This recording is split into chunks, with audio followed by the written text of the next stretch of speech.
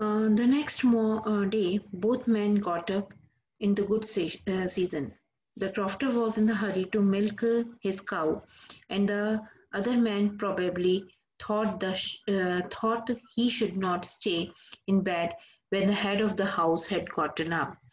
They left the cottage at the same time. The crofter locked the door and put the key in his pocket. The man with the rat trap said goodbye and thank you, and thereupon each went to his own way. But after half an hour later, the rat, uh, rat trap peddler stood again before the door. He did not try to get in. However, he only went up to the window, smashed the pa- uh, pane, stuck in his hand, and got hold of the pouch with the 30 kronor. He took the money and uh, thrust into the, it into his own pocket. Then he hung the leather pouch very carefully back in its place and went away.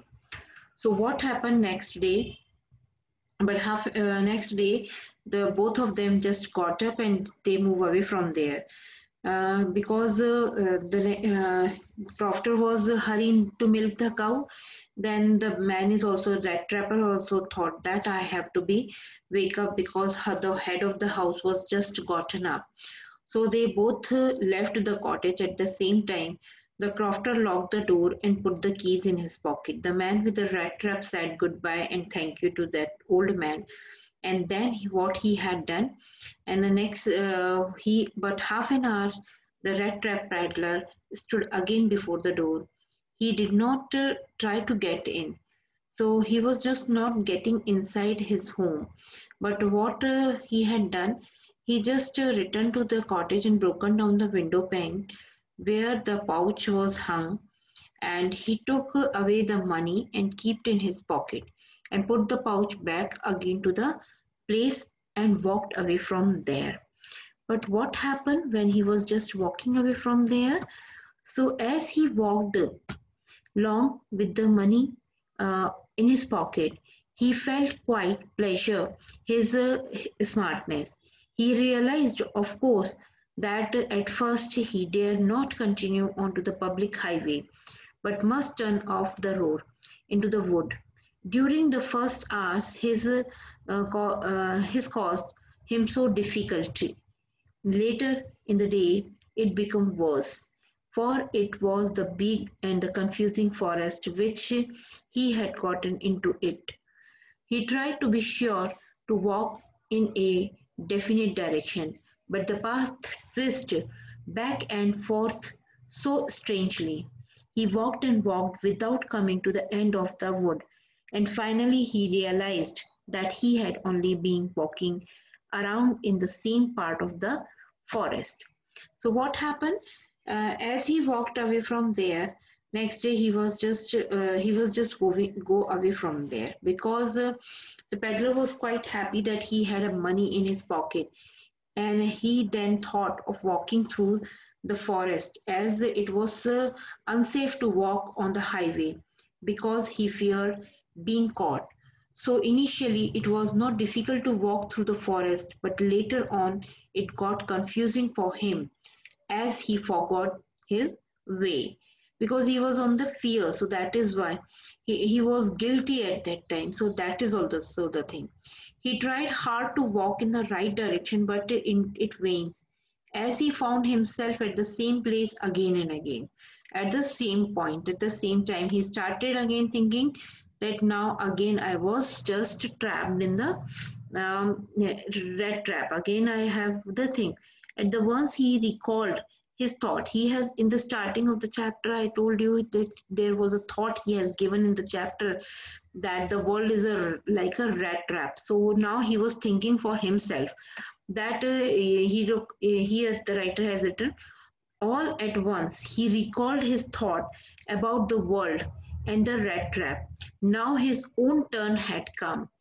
He had let himself be fooled by the bite and had been caught the whole forest with its uh, trunks and branches, its uh, thickets and the fallen logs, closed in upon him like a impenetrable prison from which he could never escape.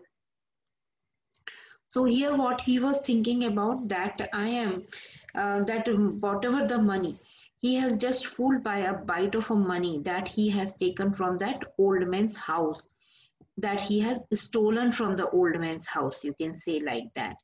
And the forest seemed him like a prison from the trunks and the branches. It was the impassable prison uh, that he was uh, just uh, caught in that prison. So that is, he was, uh, the thinking of that person was that the world is a bite and uh, there is a bite that money is a like a bite just like a rat trap. In the rat trap what is the bite for the rat? That is a pork of, or a cheese. So that is the thing. Now the writer is describing about the atmosphere of the forest and atmosphere of that time that what is happened at that time. So it was the late in december.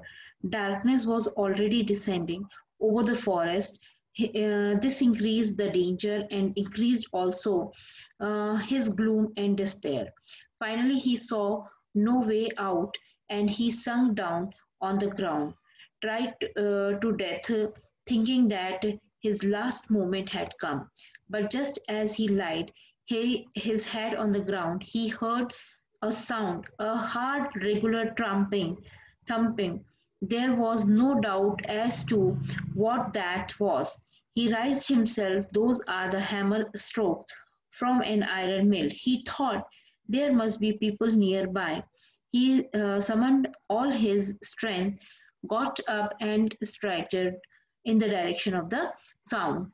So what he had done, the, uh, there was a um, mill nearby him where, so first of all, he was just lying. It was a dark in the summer. The writer described about that, that is was the month of uh, December. It got dark early as it is got dark. His hope of escaping from the forest reduces. The danger of his life increased and so he did, uh, did his feeling of being hopeless. There was no way left from him.